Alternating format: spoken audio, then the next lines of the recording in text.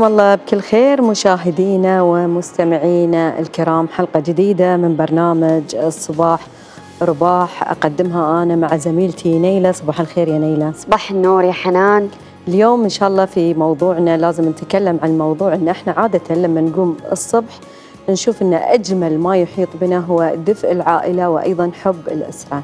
اخترنا لكم اليوم مقولة لمارك توين العائلة هي حيث تبدأ حياتنا وحيث تجد الحب دون قيد أو شرط.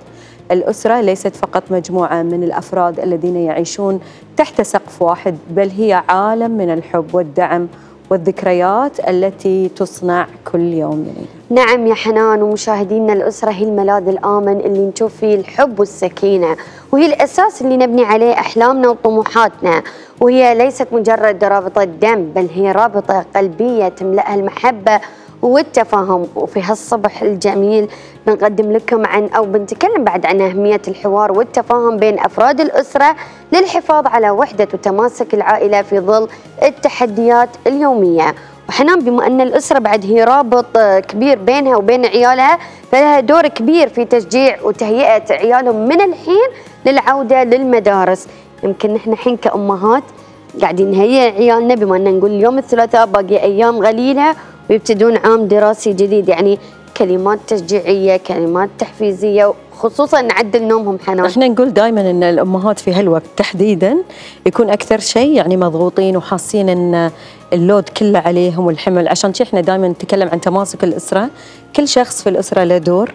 فهي فترة وبتعدي وهني يطلع فعلا يعني دور الأسرة إنها تدعم وتشجع عيالها وتبين لهم إن هذه فترة بالعكس تعطيهم عبارات التشجيع والتعزيز. مشاهدينا ومستمعينا آه، راح نتكلم اليوم عن عدد من الفقرات آه، والفعاليات المختلفة لكن البداية مع أبرز العناوين. وزارة التنمية الاجتماعية والأسرة تطلق حملة الأسرة ثروة وطن وذلك بالتزامن مع العودة للمدارس. انطلاق جائزة ريادة الأعمال للابتكار والتميز للشركات الناشئة بجامعة قطر. أيضا من ضمن فقراتنا اليوم ومن أخبار حول العالم نتابع معاكم. الحشرات تهدد سفينة النصر البريطاني في ترافلغار.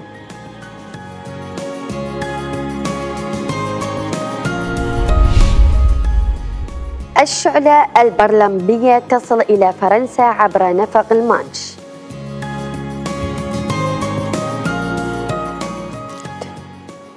طرحنا عليكم مشاهدينا ومستمعينا الكرام سؤال عبر وسائل التواصل الاجتماعي. كيف توازن ما بين الاحتياجات الأساسية المدرسية وما بين رغبات الأبناء؟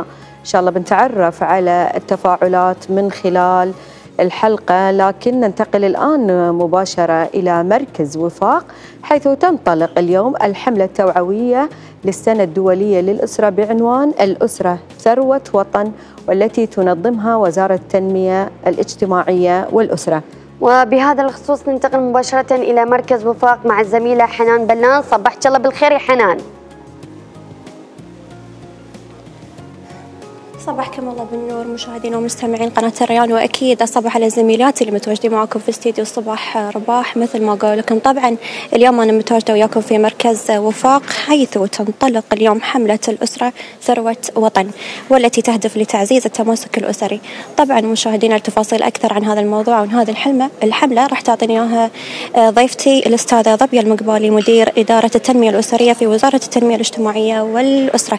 يعطيك ألف عافية أستاذة ضبية في البداية لو تعطيني فكرة عامة عن هذه الحملة والهدف منها أيضا. آه، طبعا آه، سعيدين بتواجدكم معنا اليوم إن شاء الله راح تنطلق الحملة التوعوية الخاصة بالسنة الدولية للأسرة واللي راح تكون تحت شعار الأسرة ثروة وطن. الحملة هي تجي بالتزامن مع الاحتفال بالسنة الدولية للأسرة الثلاثين. آه، إن شاء الله راح تكون هذه الحملة يعني فيها معنا شركاء تنظمها الوزارة بالتعاون مع مركز الاستشارات العقلية وفاق ووزارة التربية والتعليم ووزارة الداخلية بهدف أن إحنا نشتغل على عدد من عدد من القيم اللي على أساس اللي على رك... على خلينا نقول في رأسها الهرم منها قيمة التماسك الأسري وقيمة التراحم. طيب لو نتكلم أكثر عن المسمى هو أنا مثل ما عرفت أن أول مرة تبتدون في هذه الحملة وإن شاء الله المرات الجاية تكون أكثر وأكثر. حملة هالسنة أو المرة الأولى اللي هي الأسرة ثروة وطن لو نتكلم عنها أكثر. آه، طبعا إحنا بالنسبة لنا آه، الاستراتيجية الوطنية للدولة 2030 آه، من أساسياتها تعزيز التماسك الأسري. في يعني عبارات واضحة متوجه الأنظار للتماسك الأسري، كذلك وزارة التنمية الاجتماعية والأسرة من ضمن رؤيتها إن هي آه، خلينا نقول يعني الرؤية بالنسبة لنا فيها آه، أسرة قوية ومتماسكة. آه، بالنسبة لنا هالشيئين هم اللي خلوا يطلع الشعار الاسره ثروة وطن لأهمية الأسرة ودورها سواء في تعزيز التماسك الأسري أو في تعزيز القيم. طيب الحين أستاذ ضبية إحنا إن شاء الله ما بقى شيء على المدارس. فدور المدرسة أكيد مهم وايد في من ناحية الأسرة لأن معظم الوقت اللي الحين يقعد فيه الطالب أكثر أو نص اليوم يروح على المدرسة. شنو دور المدرسة من هالناحية؟ آه، لهالسبب إحنا الحملة آه، شركائنا فيها وزارة التربية والتعليم وإحنا نشكرهم على هذا التعاون معنا. لأن من أهداف الحملة إن إحنا نوجد نموذج متكامل لتكامل الأدوار بين المدرسة وبين الأسرة في مفاهيم عديدة. منها التماسك الأسري منها تعزيز القيم وخاصة إحنا حاليا نشتغل على قيمة التراحم. بالإضافة أن بيئة المدرسة بالنسبة لنا بيئة مكملة تعطي تصحيح لعديد من المفاهيم اللي إحنا نشتغل عليها. يعني بيصير في مفهوم إيجابي من خلال هذه الحملة عن طريق المدارس وعن طريق شركائنا لمفهوم الأسرة الإيجابية. غير أن إحنا طبعا هدفنا مثل ما قلنا أن إحنا من هالحملة نبرز مع وزارة التربية والتعليم أهمية الأسرة أهمية التمسك الأسري أهمية تعزيز القيم بجميع القيم المتنوعة. طيب الجلسات اللي راح تصير اليوم الفعاليات مثل ما عرفنا بعد إنك كنتوا في الحزم فخذيتوا نفس الجولة أو كان في فعالية ثانية هناك لو نتكلم عنها. أه، شوفي إحنا بالنسبة لنا انطلاقة الحملة كانت بالأمس من خلال البيان الصحفي أه، اليوم طبعا دشنا الفيلم الخاص بالحملة وهو فيلم يتعلق ب يعني هو أطلقناه بالتزامن وهاي كان هدفنا مع العودة للمدارس لإبراز أهمية دور الأسرة في إشراك يعني أبنائنا معهم معهم بدءا من العودة للمدارس وبدءا من الانطلاقه حق العام الدراسي الجديد. لهالسبب إحنا الحملة بالنسبة لنا الشركاء فيها لهم دور فاعل في تفعيل كثير من المفاهيم اللي إحنا حاليا شغالين عليها. اليوم طبعا راح يكون هو لقاء تعريفي لعدد من المدارس. مشكورين وزارة التربية والتعليم إن هم دعوا لنا عدد من المدارس لشرح إيش فكرتنا من الحملة وشلون راح إحنا نبتدي نطبقها معاهم في خلال المدارس. طيب في الختام استاذة ضبية شنو تحبين توجهين رسالة سواء كانت للمدارس للأهالي بشكل عام من خلال موضوعنا اليوم؟ إيه، طبعا أول رسالة أوجهها شكر للشركاء إيه، مركز الشركات العائلية وزارة التربية والتعليم ووزارة الداخلية إيه، فيما يتعلق بالأهالي أتمنى أنه فعلا الكل يبتدي يتابع أنشطة الحملة ويبتدي يشوف الأنشطة اللي تقام في المدارس لأنه راح يكون للأسرة طبعا بحكم أن إحنا حطينا معايير لهذه الحملة في أشياء راح تنفذ من خلال المدرسة مع الأسرة. فنتمنى أن يكون في تكاتف من الجميع لهذه الحملة. يعطيك العافية. كفيتي ووفيتي أستاذة ضبية المقبالي مدير إدارة التنمية الأسرية في وزارة التنمية الاجتماعية والأسرة مشاهدينا؟ هذا كل اللي كان عندي في مركز وفاق. خلونا الحين نرجع لكم استديو الصباح رباح شكرا لك حنان وكل الشكر لضيفتك الأستاذة ضبيه المقبالي بالفعل مشاهدينا وحنان يعني نقول هذا نكون يعني هذه الحملة يمكن توعي أيضا أولياء الأمور. وبالفعل الأسرة نقول هي ثروة وهي آه، الوطن والحلو إن مشاركة العديد من المؤسسات والوزارات. نعم مثل يعني ما ذكروا يعني حتى عنوان الحملة حلو يعني الأسرة ثروة وطن واكيد مثل ما ذكرنا في البداية إن هاي الوقت هو الوقت المناسب أصلا لدعم أيضا عيالنا وبناتنا وقت العودة للمدرسة. نعم. لكن نعم. إحنا أكيد مشاهدينا ومستمعينا مكملين معاكم. لكن أول شيء خلونا نروح نشوف أخبار الجو نيلي شو الجو؟ اليوم في مطر مني منك آه، شيء لا ما عندنا اليوم. الكويت من يومين. ياهم مطر إيه؟ إن شاء الله الله, إن شاء الله, الله يرزقنا إن شاء الله بالمطر مشاهدينا اليوم جونا غبار عالق إلى ضباب خفيف مع فرصة تكون سحب أحيانا. خلونا نشوف معاكم لقطات جمالية وصباحية من جزيرة اللؤلؤة وبعدين بنتعرف على حالة الطقس.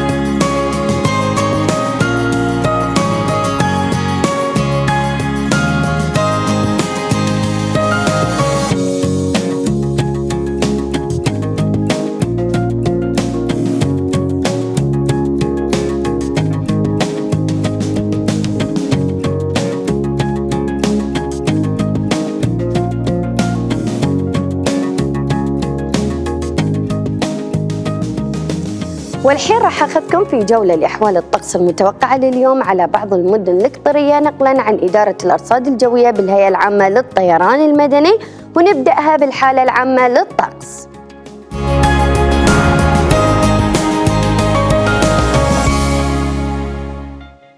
بشكل عام لا يوجد تحذير بالنسبة للطقس غبار عالق إلى ضباب خفيف رطب وحار مع فرصة السحب أحيانا الرياح جنوبية غربية من 5 إلى 15 عقدة. حالة البحر من 1 إلى 2 قدم. ومشاهدينا نبدأ بمدينة الدوحة ودرجات الحرارة تتراوح بين 32 و 41 درجة مئوية. أما نسبة الرطوبة تتراوح بين 50 و 80 بالمئة. الرياح جنوبية تصل إلى أربع عقد. وننتقل إلى أبو سمرة ودرجات الحرارة تتراوح بين 30 و 41 درجة مئوية. أما نسبة الرطوبة تتراوح بين 30 إلى 80 بالمئة. الرياح جنوبية إلى جنوبية غربية تصل إلى أربع عقد. وفي مدينة الريان درجات الحرارة تتراوح بين 32 إلى 41 درجة مئوية. أما نسبة الرطوبة تتراوح بين 30 و 80 بالمئة. الرياح جنوبية غربية تصل إلى 5 عقد. وإلى مدينة مساعيد ودرجات الحرارة تتراوح بين 32 و 41 درجة مئوية. أما نسبة الرطوبة تتراوح بين 50 و 80 بالمئة. الرياح غربية إلى شمالية غربية تصل إلى ثلاث عقد. وفي مدينة الخور درجات الحرارة تتراوح بين 32 و 41 درجة مئوية. أما نسبة الرطوبة تتراوح بين 50 و 80 بالمئة. الرياح جنوبية غربية تصل إلى 6 عقد. ونختم النشرة الجوية مع مدينة تخان ودرجات الحرارة تتراوح بين 30 إلى 41 درجة مئوية. أما نسبة الرطوبة تتراوح بين 30 و 80 بالمئة. الرياح جنوبية غربية تصل إلى 5 عقد. وبالنسبة لرواد البحر لا يوجد هناك أي تحذير هذا والعلم عند الله. كانت هذه نشرتنا الجوية لليوم وأترككم الحين مع درجات الحرارة المتوقعة لدول الخليج لليوم.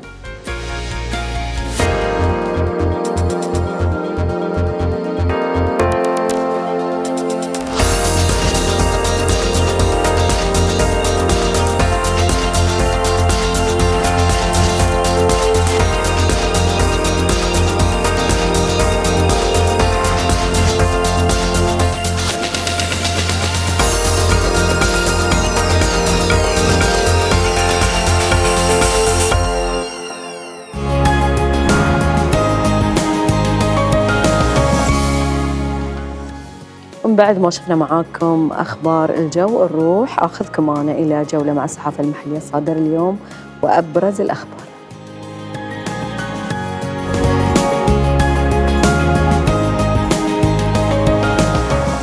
نبدأ جولتنا مع جريدة الشرق. حضرة صاحب السمو الشيخ تميم بن حمد آل ثاني أمير البلاد المفدى يستقبل صاحب السمو الملكي الأمير خالد بن سلمان بن عبد العزيز آل سعود وزير الدفاع بالمملكة العربية السعودية الشقيقة والوفد المرافق وذلك بمناسبة زيارته البلاد. من جانب آخر منح سمو أمير البلاد المفدى سعادة السيد خوسيه بن زاكن بيريا سفير جمهورية بيرو وسام الوجبة تقديرا لدوره في تعزيز العلاقات بين البلدين. فخامة الرئيس الإيراني خلال استقباله معالي رئيس مجلس الوزراء وزير الخارجية يثمن جهود قطر لوقف الحرب على غزة. قطر تدين دعوة وزير إسرائيلي إلى إقامة كنيس بالأقصى. قطر تشارك في مؤتمر الشؤون الإسلامية بالقاهرة. ننتقل الآن إلى جريدة الراية. وزارة التربية والتعليم والتعليم العالي تحدد تكلفة دروس التقوية في مراكز الخدمات التعليمية. وزارة الداخلية تعقد الملتقى التعريفي الخامس لمبتعثيها من الطلبة للعام الجاري. أشغال إنجاز أعمال السلامة المرورية حول 611 مدرسة استعدادا للعام الأكاديمي الجديد. ثلاثة ملايين دولار لتوفير المعونة الإنسانية لغزة بموجب اتفاقية بين الأونروا وقطر الخيرية. إلى جريدة الوطن. الكشف عن تحسينات جديدة على المنصة الوطنية لتنسيق التوظيف كوادر. قطر للطاقة تزود مؤسسة البترول الكويتية بالغاز الطبيعي لمدة 15 عاماً. ديوان الخدمة المدنية والتطوير الحكومي يفتح باب التسجيل للكفاءات القطرية في برنامج الأمم المتحدة. الخطوط الجوية القطرية تنجز صفقة الخطوط الرواندية في الربع الثالث من العام الجاري. نختم جولتنا مع جريدة العرب. صلتك تعزز التمكين الاقتصادي للشباب عبر مبادرة مليون فرصة. دفعة جديدة ترتدي المعاطف البيضاء في وايل كورنيل. طلبة جامعة قطر يشاركون في برنامج التدريب الدولي الذي أقيم في مستشفى ماتر أولبيا في سردينيا بإيطاليا. معرض مال الأول في نسخته الرابعة يستعرض ألعاب الفيديو في التسعينات.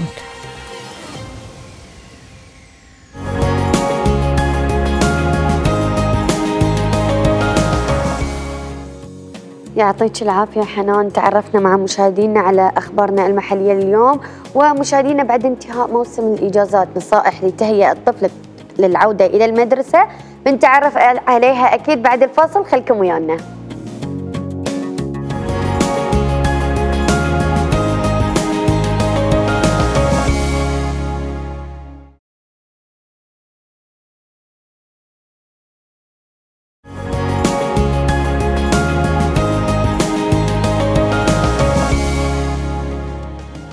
يا هلا ويا مرحبا فيكم مشاهدينا ومستمعينا الكرام تستعد الطواقم التعليمية والإدارية للعوده للمدرسة وكذلك الطلاب وأولياء الأمور والذين بدأ بإنجاز مرحلة الإعداد للعودة للمدرسة بكل ما يتطلب ذلك. بنتكلم حنان ومشاهدينا عن العودة للمدارس مع الأستاذة سميرة العمادي معلمة لغه عربية بمدرسة الخور الابتدائية للبنات واللي راح تعطينا إحنا كأولياء أمور وأيضا حق طلابنا آه، النصائح مع بداية العام الدراسي الجديد. كل عام وانت بخير وعودا حميدا. وانت بالصحة والسلامة حبيبتي. في البداية يعني لو تقولي لنا كلمة مناسبة بقرب العودة نقول آه لطلابنا للمدارس إحنا كأولياء أمور وأيضا آه نقول حق الطلاب.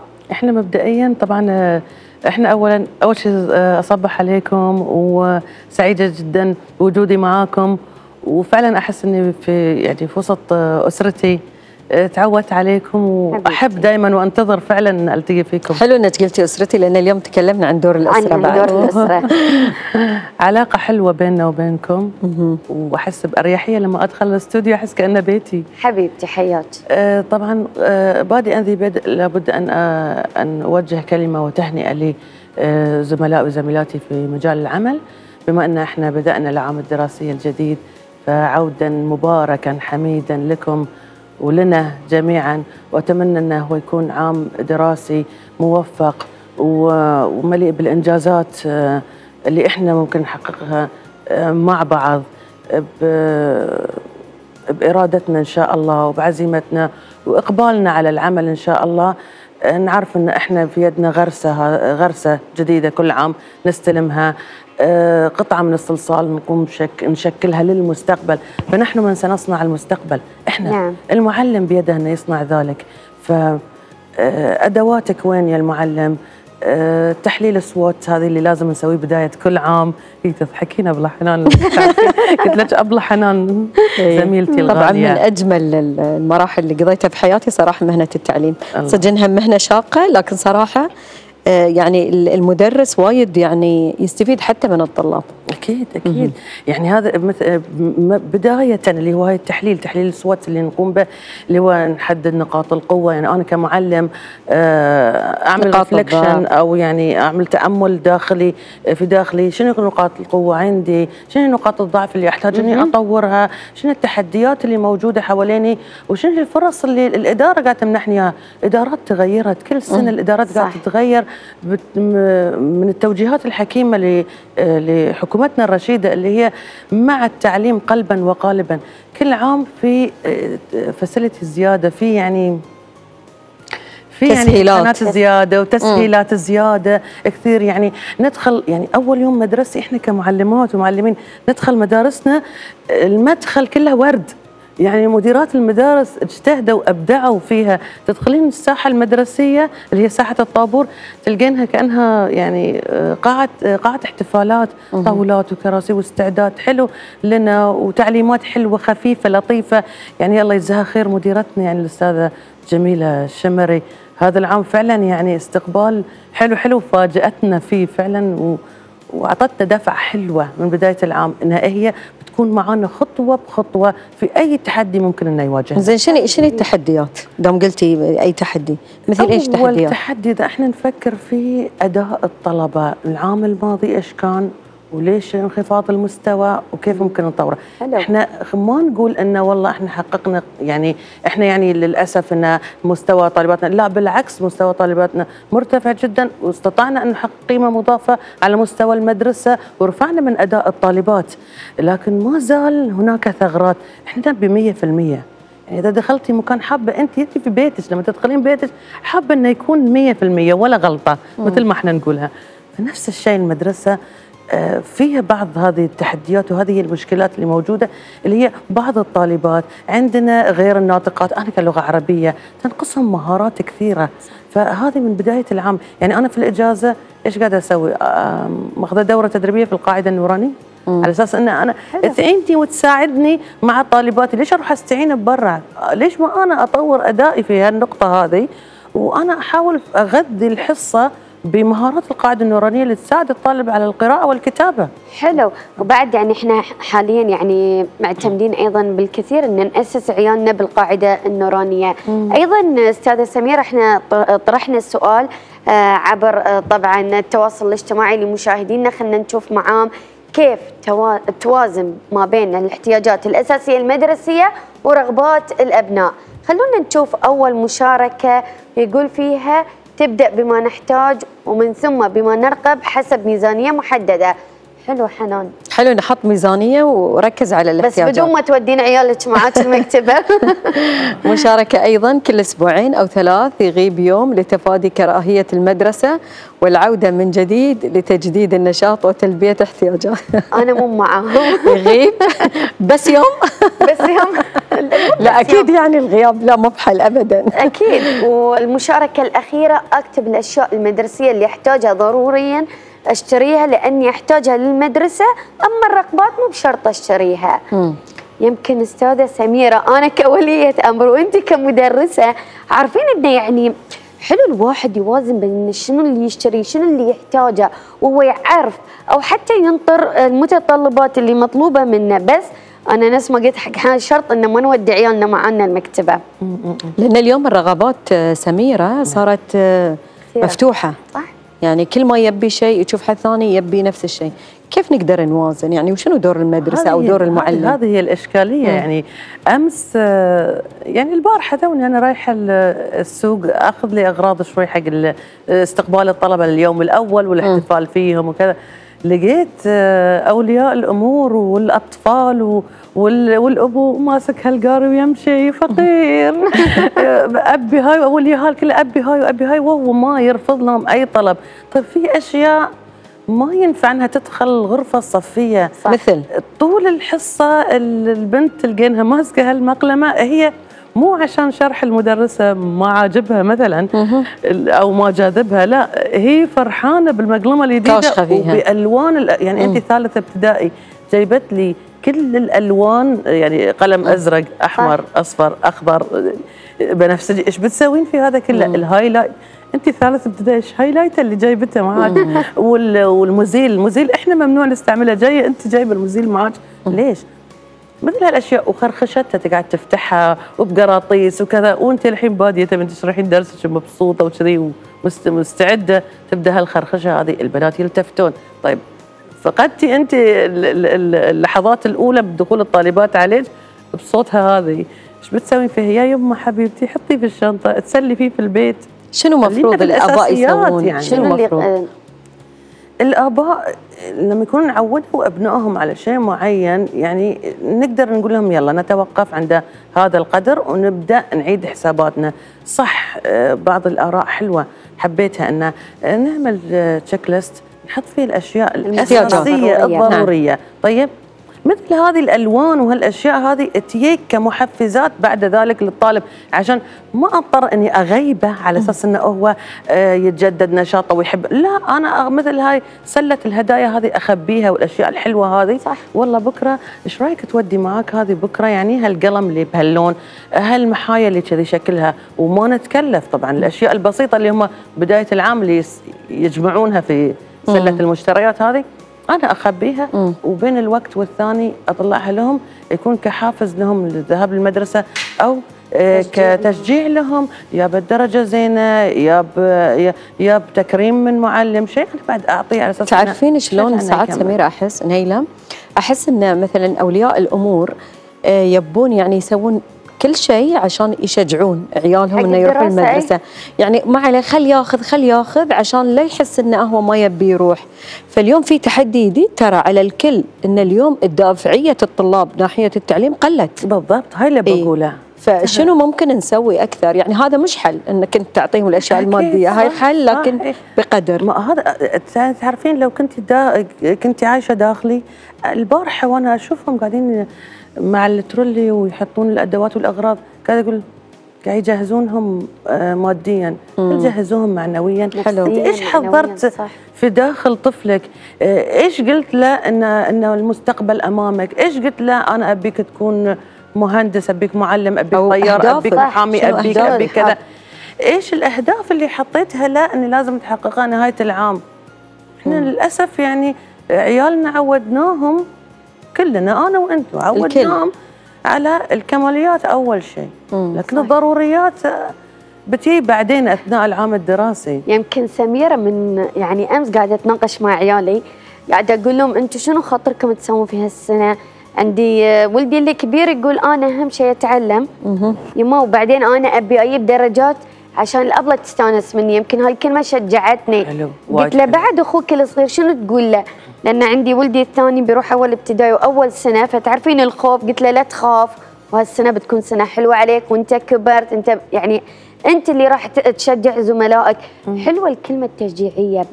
أنا يمكن الحين يعني سميرة قاعدة أحس شوي بتوتر بس بعد أقول حق اولياء الأمور يعني شوي خفوا من التوتر عشان عيالكم ما يتوترون إيه، زيادة. على أساس ما تعكسون عليهم بالضبط بالضبط. صح. وإحنا بعد المدرسة يعني ما شاء الله يعني ما تقصرون. مستعدين ومجهزين يعني صدق الإدارة يجهزون لنا إحنا وإحنا مع الإدارة نحضر للطلبة. يعني اليوم المفروض في السكجول أجندة الأسبوع اليوم المفروض في المدرسة قاعدين نحضر البيئة الصفيه صفوفنا الثيم الألوان حلو. الطاولات شلون بتكون. الكتب لما بيدخلون الطالبات بيحصلون كتبهم مغلفة مع وجبة خفيفة موجودة على الطاولة نفسها.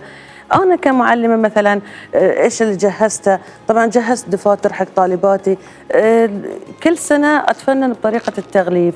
يعني السنة هذه استوحيت استوحيت مثلا ال- الغلاف من غلاف الكتاب نفسه حلو. بحيث إن البنت أول ما تأخذ ال- الله. خلينا نشوف تأخذ ال- الكراسة وتلقى خلاص هاي هو تبعها يعني. هذه كتابها المدرسي هو نفسه صار هاي الكراسة وعلى أساس ما تضيع بين الدفاتر الثانية آه، أيضا استقبال الطالبات مثلا آه، قيمة أحطها لهم. أختار الشخصية اللي هم يحبونها هذه الأيام وأحطها لهم. قطعة شوكولاته صغيره ما تقول شيء ما تأثر إن شاء الله. ما تأثر. يا جماعة ما تأثر. بس أول يوم بس أول يوم. بس أول يوم آه والله المدرسات ما يقصرون طول صح السنة. والله الله يعطيهم حتى- الصحة حتى يعني حتى ترى اغراش ال- الحليب الصغيرة نحطها أي. لهم قطعة الكرواسون نحطها لهم على الله أساس إنه. يعني أنا أدري إن مش كل طفل جاي من البيت متريق أكيد ف لين يجي وقت الفسحة ياخذ وقت. فإحنا نعطيهم شيء كذي. حفز بسيط ان نعطيهم إياه يعني وأنا اعتبرتكم اليوم طالباتي. أبلة نيلة دفترك الله. يا سلام. أنت رجعتينا لايام. اسامي من حنان. دفترك يعني شكرا شكرا سميرة. إيه. نصايح أخيرة. تقدمينها لنا. شكرا. شكرا. أيوه. يا سلام. رجعتينا لايام المدرسة. أنتم اليوم طالباتي. شكراً، شكراً. حبيبتي يمكن أنا من محبين اللغة العربية. بالأمانة سميرة. يعني أنا حنان كنت وايد أحب اللغة العربية أتعمق في اللغة العربية. آه، سميرة نصيحة تقدمينها مو بس حق نقول المشاهدين حقي أنا كولية أمر بعد. آه، عشان قرب نقول آه، دخول عيالنا المدارس باقي لهم كم يوم. طيب خليني أسرق واحدة من تحديات المدرسة عندنا اللي هو ضعف اتصال ولي الأمر بالمدرسة. متى يبدا متى يبدأ ولي الأمر يتصل في المدرسة لما يشوف الدرجات نزلت مم. وين آه. وليش الدرجة نازلة وأنا إيش يعني ليش ما؟ قلتوا لي؟ وينكم من بداية السنة وإحنا نحرق التليفونات من بداية السنة نتواصل معهم يعني أنا من بداية السنة أسوي جروبات جروبات أولياء أمور جروبات أمهات طالباتي من بداية العام وأرسل لهم مثلا عندنا عندنا حفظ قصيدة كذا من من كذا. بنتك اليوم غايبة ترى إحنا خذينا كذا. أصور لها جزء في التليفون. مع إنه يعني فيه محاذير من هالنقطة هذه وما أنصح حد إنه يسويها. لكن بحكم خبرتي الحين كملت 27 سنة لي في ما التدريس. شاء الله. فيعني هالفترة هذه ممكن يعني تأهلني إن أنا ممكن أتخطى أي عقبة ممكن تجيني أو أي إشكالية تجيني في التواصل مع أولياء الأمور. ف أولياء الأمور رجاء تواصلوا مع المدرسة. في ال... يعني أنا ممكن أقول لها بنتك والله ونعمه تربيه وما شاء الله وأشكرك على الهدية اللي أهديتيني إياها في المدرسة بنتك هذه. يعني ممكن تسمعين كلمة حلوة أه تدفعك إنك تكملين فتواصلوا معنا أه كلمة مهمة مهمة. أنا الحين مثلا بنتي بنتي يعني آه، عيالها الحين بعد مدرسة فقاعدة تجهزهم هالأيام هذه. آه، خلاص جهزت ملابسهم كذا فقاعدة تهيئهم الحين حق تحقيق أهدافهم. صح. قاعدة تهيئهم أنتم إيش بتسوون إيش الدرجة اللي بتجيبونها المادة اللي هي ضعيفة فيها قاعدة ت- تتكلم معاهم. آه، شلون بتكون آه، شلون بتمشي معاهم طول العام شلون الدراسة بتكون. آه، رتبوا معاهم من النوم الصبح يعني لين متى لين متى. السهر؟ ومواصلين والكلام يعني ابدوا معاهم من الحين يعني من خلاص اليوم عندك نقول. عندك فرصة أوكي إحنا تعبانين راجعين من الدوام بس معلش استحملي هالأسبوع لا تنامين العصر قعدي مع عيال تسوي لهم برامج صح. بحيث إنه يجي في الليل خلاص يدوخون ينامون على طول. شكراً. شكرا لك يعطيك العافية الاستاذه سميرة العمادي مدرسة لغة عربية في مدرسة الخور الابتدائية للبنات ونتمنى لكم إن شاء الله عام دراسي حافل بالإنجازات إن شاء الله. شكرا, شكرا لك سميرة وشكرا للهدية الحلوة صراحة والاسم. صح والخط. تبارك الرحمن. أهم شيء المستوى السادس. صف الله سادس يجبر أنتم. بخاطرك. الله مشاهدينا ومستمعينا ننتقل الآن إلى وزارة التربية والتعليم والتعليم العالي حيث ينطلق اليوم اللقاء السنوي. تفاصيل مع زميلنا مشعل حسن. صباح الخير يا مشعل. اولا أصبح على زملاتي بالاستوديو وأصبح عليكم مشاهدينا الكرام. اليوم أنا موجود معكم بوزارة التربية والتعليم والتعليم العالي بالتحديد في المبنى رقم اثنين حيث يقام اليوم اللقاء التربوي السنوي. وللحديث أكثر حول هذا اللقاء يسعدنا ان يكون معي مدير مركز التدريب والتطوير بوزارة التربية والتعليم والتعليم العالي السيدة إيمان المهندي. نصب عليك بالخير. صبحك الله بالنور. صباح النور على جميع مشاهدينا خلف الشاشة. يا هلا بك تعطينا فكرة عن هذا اللقاء والهدف منه. طبعا اللقاء التربوي السنوي هو لقاء سنة وزارة التربية والتعليم منذ العام الماضي وهذا اللقاء الثاني لنا. آه، يهدف اللقاء للاجتماع بمنتسبي الميدان التربوي. وبدء العام الأكاديمي بداية رسمية معهم من خلال جلسات حوارية وورش تدريبية. وتعطينا فكرة بعد عن أجندة هذا اللقاء. طبعا اللقاء التربي راح يبدأ بعد قليل بإذن الله. آه، راح يبدأ بكلمة من آه، سعادة وكيل آه، وزارة التربية والتعليم والتعليم العالي دكتور إبراهيم النعيمي. وكذلك راح تكون آه، هنالك جلسة حوارية مع محاضر آه، من خارج قطر. آه، بالإضافة إلى تكريم لمنتسبي برنامج قيادات اللي نفذناه العام آه، الماضي بالتعاون مع مركز قطر للقيادات وجامعة آه، هارفارد. وختام اليوم راح يكون آه، ورشتين. الورشة الأولى راح تكون لقادة المدارس. متزامنة مع ورشة أخرى راح تكون للمعلمين الجدد اللي راح ينضمون للميدان التربوي بإذن الله. شنو الأهم الأشياء اللي راح يتطرق لها هذا اللقاء طبعا مثل ما ذكرت قبل شوي آه، راح تكون هنالك جلسات حوارية. راح تتطرق للعلاقة آه، الإيجابية آه، وقوة تأثير آه، هذه العلاقة داخل آه، منظومة التعليم. فهي راح تمس القادة والمعلمين وكذلك ال- الطلبة. إضافة للجلسات الحواريه ال- عفوا الجلسات التدريبية. الجلسات التدريبية للقادة راح يكون محورها مختلف عنها للمعلمين. الجلسة الخاصة بالمعلمين راح يكون الهدف منها تشجيع المعلمين ودعمهم آه، لتهيئتهم للانتصاب للميدان التربوي بإذن الله. صراحة قاعد أشوف حضور كبير فودنا نعرف أهم الشخصيات المدعوة لهذا اللقاء. آه، طبعا أهم شخصيات وأبرز شخصيات اللي نحرص إنها تكون موجوده هم قادة المدارس والمعلمين. آه، لكن بيكون في آه، قادة الوزارة كذلك وعندنا مركز قطر القيادات من أهم الضيوف اللي موجودين اليوم. إحنا موجودين في في مثل ما ذكرت أخوي مشعل في مسرح وزارة التربية والتعليم مبنى رقم اثنين وكذلك عبر بث مباشر live stream راح يكون لجميع الأشخاص خلف آه، الشاشات كلمة أخيرة توجهينها عبر شاشة قناة الريان آه، طبعا آه، أول شيء شكرا لكم وكل عام وأنتم بخير لجميع منتسبي الميدان التربوي بدايه موفقة للجميع بإذن الله. يعطيك الصحة والعافية وما قصرت أستاذ ايمان حياك الله. ونعم الساده المشاهدين هذا اللي عندي من هنا من وزارة التربية والتعليم والتعليم العالي وحاليا نتوجه بالصوت والصورة إلى زميلاتي في الاستديو.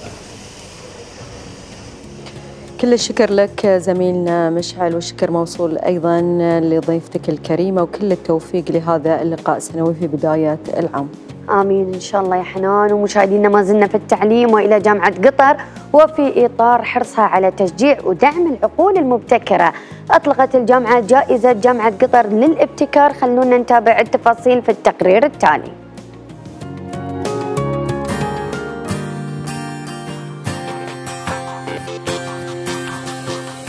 في إطار سعيها الدائم لتعزيز ودعم العقول المبتكرة أطلقت جامعة قطر جائزة جامعة قطر للابتكار التي تحتفي بمختلف الاختراعات المنبثقة عن الجامعة ولها تأثير كبير في الارتقاء بالمجتمع والصناعة. وكذلك تشجيع تطوير الأفكار البحثية والوصول بتلك الاختراعات لمرحلة التسويق. وتشمل الجائزة فئتين الأولى أعضاء هيئة التدريس والباحثون والموظفون العاملون بدوام كامل في جامعة قطر. والثانية الطلبة بمرحلة البكالوريوس أو الدراسات العليا المسجلون في جامعة قطر. ويجري تقييم الطلبات استنادا إلى مجموعة من المعايير منها حصول المنتج المبتكر على براءة اختراع مسجلة لجامعة قطر ومرحلة تطوير المنتج أو إنتاج النموذج الأولي وفرص تسويق المنتج المبتكر ومدى التواصل والتأثير على المجتمع والصناعة وشركاء المصلحة الآخرين. ووضعت الجامعة جوائز مالية لكل فئة ففي الفئة الأولى تكون مبلغا نقديا قيمته 30 ألف ريال وإمكانية تمويل يصل إلى 100 ألف ريال كحد أقصى مخصص لتطوير المنتج المبتكر وتأسيس الشركة الناشئة. وفي الفئة الثانية تتكون الجائزة من مبلغ نقدي قيمته 20 ألف ريال وإمكانية تمويل يصل إلى 100 ألف ريال كحد أقصى مخصص لتطوير المنتج المبتكر وتأسيس الشركة.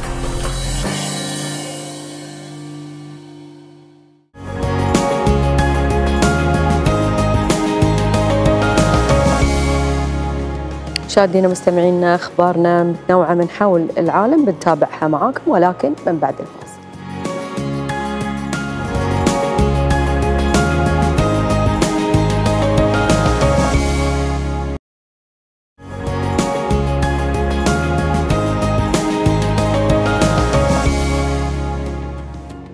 يا هلا ويا مرحبا فيكم مشاهدينا ومستمعينا الكرام. ضيفتنا اليوم حولت مشروعها من فكرة صغيرة لمنتج أكبر. الهدف من تعليمي وتربوي لكن للطفل تحديدا وأسرته وذلك لإشغاله باللعب والتعلم في نفس الوقت.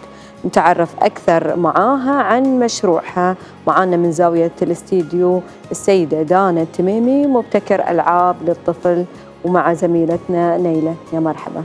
هلا فيك حنان هلا فيكم مشاهدينا. يا هلا فيك دانا معانا اليوم في استديو الصباح رباح. قاعدين نشوف مع المشاهدين ألعاب آه، حلوة.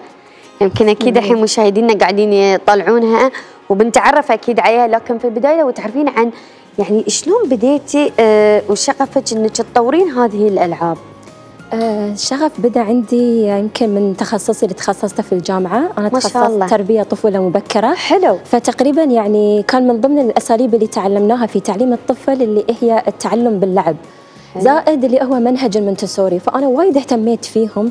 وحسيت إنهم يعني آه، فوائدهم أكثر على الطفل فبديت إني أنا أبحث عنهم أكثر بديت أقرأ عنهم أكثر ولما الله رزقني ولدي عيسى يعني بديت. أطبق عليه بشكل حي فلما شفت النتائج انبهرت فهالشيء اللي حلو. خلاني يعني أول شيء أنا كنت أطلب له الألعاب من برا فكان. في صعوبة في إني أنا ألاقي يعني ألعاب بسهولة بأسعار زينة آه، الشحن كان يكلف صراحة فكنت أقول يعني السوق الإلكتروني شوي كان يفتقر حق هالنوع من الألعاب بهالجودة يعني بهالفوائد.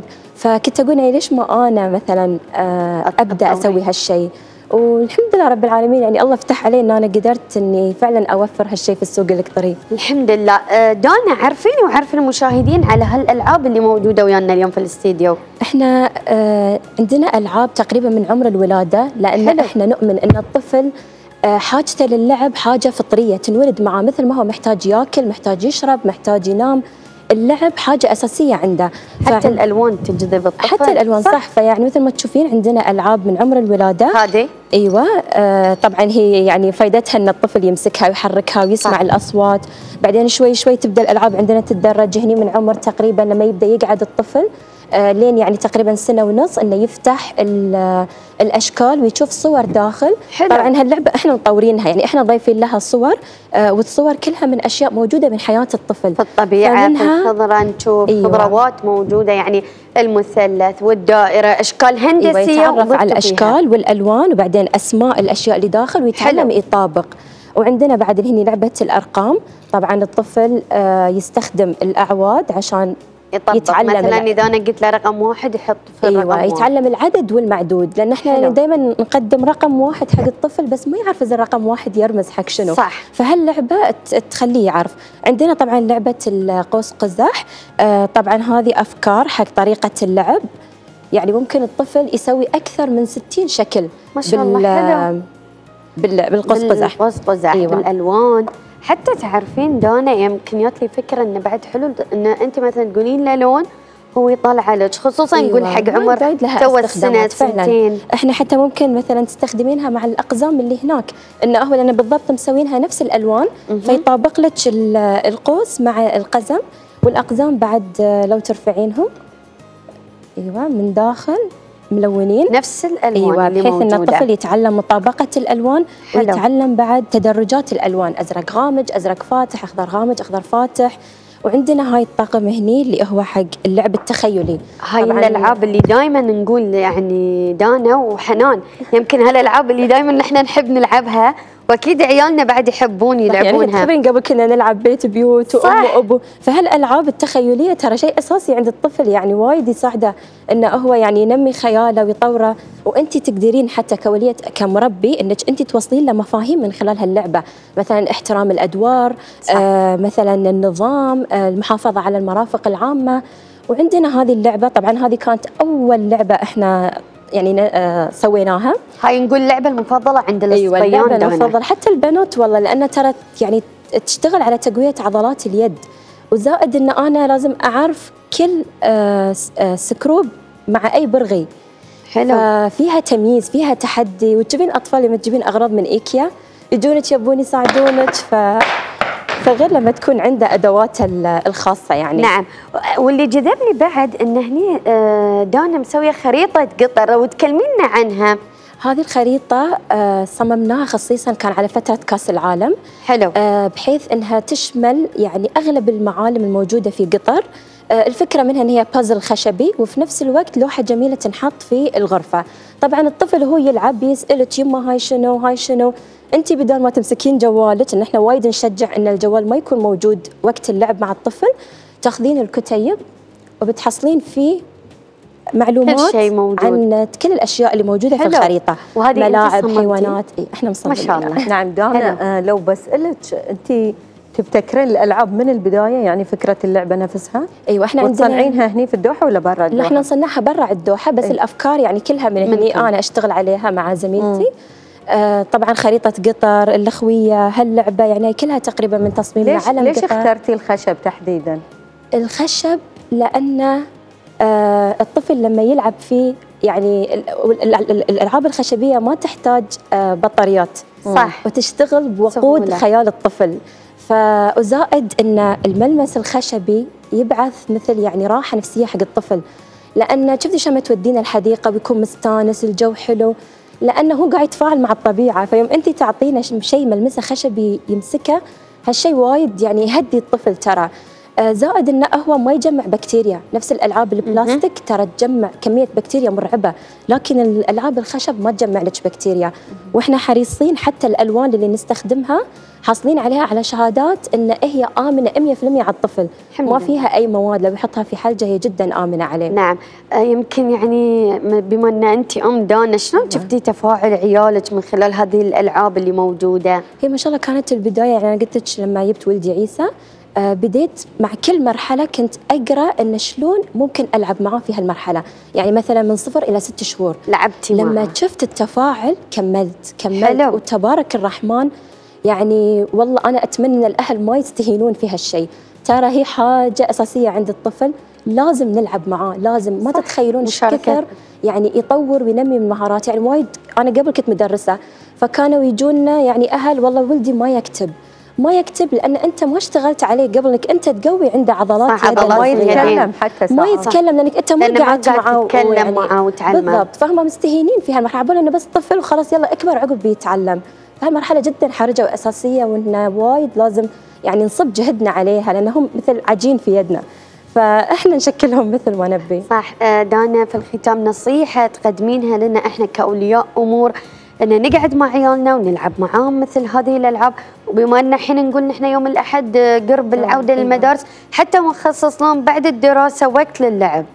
آه أنا والله نصيحتي إن حتى لو نص ساعة في اليوم تكون هي يعني وقت قيم مع الطفل. أقعد معاه. أنا عارفه احتياج ولدي يعني مثلا ولدي يحب اللعب الخيالي أقعد ألعب معاه أعطيه لو نص ساعه يعني 20 دقيقة إلى نص ساعة. بس مهم ان أنا أعطي يعني كل طفل من أطفالي وقت قيم. أقعد أحاول أطور في هالوقت يعني من مهاراته وأستمتع معاه يعني أكتشف أشياء موجودة عند ولدي يمكن ما راح أكتشفها يعني آه، خلال اليوم. صح. شكرا لك دانا التميمي مبتكرة ألعاب آه، للطفل يعطيك العافية وأتمنى لك إن شاء الله كل التوفيق. شكرا.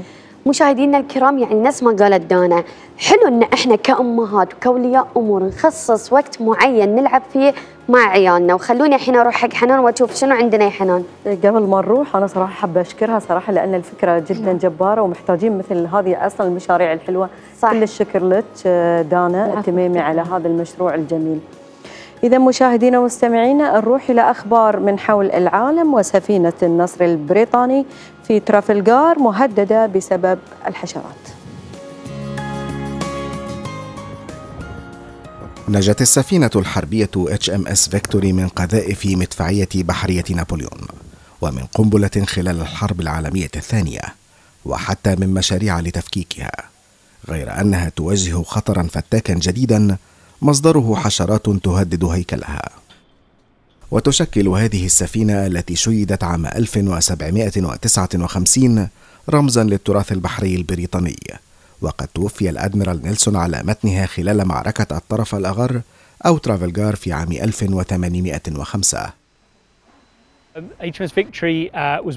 اشتهرت اتش ام اس فيكتوري بكونها سفينة قيادة الأدميرال نيلسون في معركة ترافلغار عام 1805 وقد نجت من تلك المعركة وكان انتصارا ساحقا للأسطول البريطاني لكن اللورد نيلسون توفي على متنها. وتخضع اتش ام اس فيكتوري حاليا لعملية تجديد كبيرة وضرورية بعد رصد انتشار للعفن على جزء كبير من هيكل السفينة الخشبي وقد تسربت مياه الأمطار إليه ووجدت حشرات فتاكة تسمى الخنافس الكبيرة ما تقتات عليه عند هذا الهيكل. نحن أمام برنامج ترميم سيستمر 12 عاما بميزانية تبلغ نحو 45 مليون جنيه استرليني. إن حجم المشروع كبير للغاية إذ لم يجري إزالة واستبدال هذا الحجم من هيكل السفينة منذ 1814 ويعمل نجارون متخصصون على استبدال أجزاء معينة من الهيكل ثم تغطيتها بعد ذلك بطبقة خارجية جديدة مقاومة للماء. سنستخدم ألواحا من خشب البلوط وسنلجأ إلى طرق تقليدية لإعادة السفينة إلى ما كانت عليه أثناء معركة ترافلغار ونأمل أن نبقي المياه خارجها. ويأتي كل عام حوالي 350 ألف شخص إلى جنوب إنجلترا لمعاينة هذه السفينة. وهي الوحيدة التي لا تزال موجودة من بين السفن المشاركة في حرب الاستقلال الأمريكية وفي الحروب الثورية الفرنسية وحروب نابليون.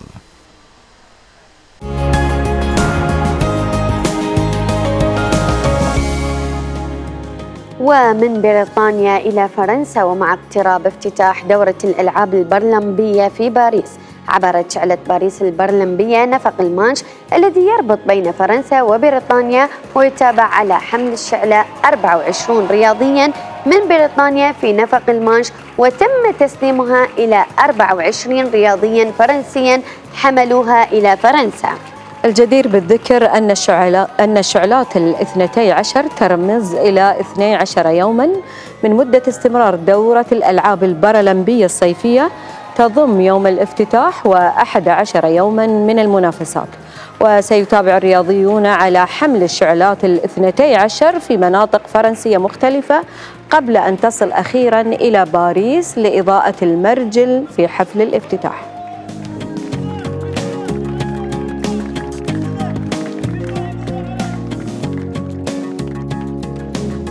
مشاهدينا وحنان بكرة إن شاء الله راح تبتدي دورة الألعاب البرلمبية في باريس. وبتنكم وصلنا معاكم لنهاية حلقتنا لليوم. نشكركم على طيب المتابعة وسؤال الحلقة القادمة. ما هي ذكرياتك مع أول يوم دراسي؟ صحنا صياحة وين دراسة نشوفكم بكرة على خير. مشاهدينا مستمعينا الكرام مع مواضيع وفقرات متنوعة من برنامجكم الصباح رباح. مع السلامة.